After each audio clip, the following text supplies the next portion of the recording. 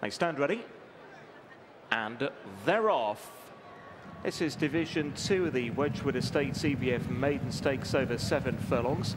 A little bit slow to gather stride there was Be Seeing You, who popped out of stall number 11, as in orange and white colours, Berari under Silvestre de Souza have grabbed the early lead. So Berari going on by a good few lengths from Exchequer, the favourite racing there in second, Jersey Royal in third from Marengo and Kingston Hill, the next two runners. They're tracked through by Summerling. She's just ahead of Be Seeing You now. Towards the rear of the field, vaguely Spanish in beige and brown colour, squawking just ahead of that one currently. And at the back of the field, Exceed Policy.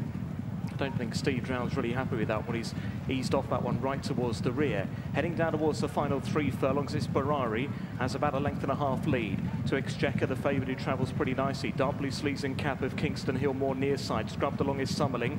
More out towards the centre is Marengo. Trying to get involved is Jersey Royal as they come now down towards the final quarter mile. Berari about to be taken on now by the favourite Exchequer. Kingston Hill tries to go with this one. Marengo behind those with Jersey Royal as they dash down towards the final furlong. Now under pressure, Exchequer. Kingston Hill makes the race of it near side. The pulling clear from Berari back in third. It's Kingston Hill near side of Exchequer as they duel it out inside the final half. And Kingston Hill getting on top now of Exchequer. And Kingston Hill, you can't stop Roger Varian's horses.